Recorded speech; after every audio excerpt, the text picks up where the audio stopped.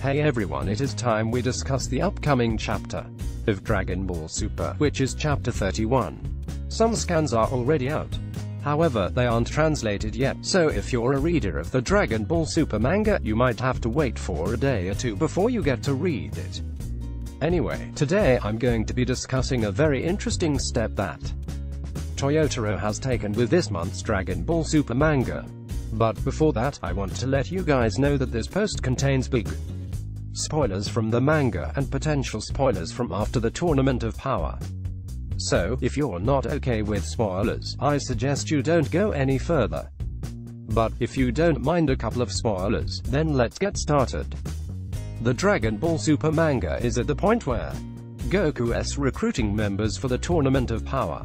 In Chapter 31, he goes to meet 18, Krillin, and even 17. We all know, Uub's name comes up during the recruitment for the Tournament of Power. Dende mentions him, and Goku himself talks about Uub as well. Uub has been reincarnated as a human after Kid Buu died, and fans of Dragon Ball Z know that Goku ends up meeting, and later training him after the 28th World Martial Arts Tournament. However, we have never really seen Uub in the Dragon Ball Super anime. Toyotaro, the writer for the Dragon Ball Super manga, has changed things a little though. In the manga, we actually get to see Uub.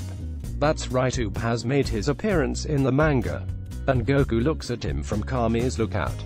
Uub is a young boy right now, and according to Dende, he is strong. But Goku thinks he isn't ready for the Tournament of Power yet.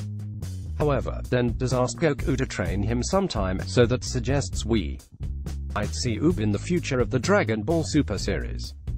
Towards the end, Uub will become a very important character. We all know that, as he basically trained with Goku for a very long time. But even then, it is possible that before that, Uub becomes the focus of a story arc. Maybe he is even involved in one. At this moment, it is all pure speculation, but I would really like to see that. Another interesting thing to notice about Uub was that he also has a sibling with him in the manga. I think that's new information, as nobody really knew he had a sibling. I'm really interested in Uub and his character, and I would love to see more of him. The next big villain in Dragon Ball Super has been confirmed hey everyone today. I'm going to share some big informed that just came out with you guys.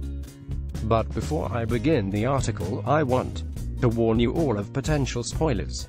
This post will contain spoilers from VJump, and if you don't want to be spoiled, I suggest you stop reading.